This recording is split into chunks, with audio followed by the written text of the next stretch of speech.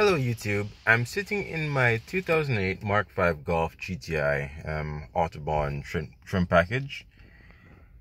A question I got, I, um, I often see in the OBDeleven forums, is how to do the comfort blinks for so you lock your door and you want the horn to honk and you also want the park lights to flash Alright, so this is how it would actually be done. The same process applies to OBDeleven. You just use your common use common sense to do it.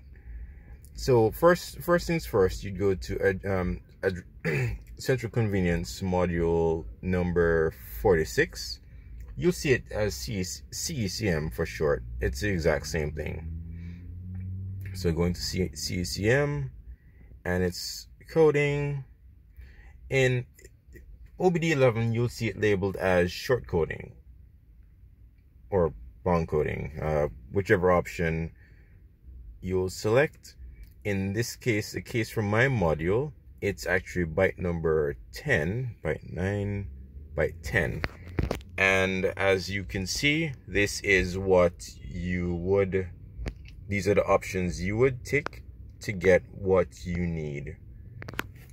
So this is doing the coding manually. So you would tick the options based on what you see here on my screen.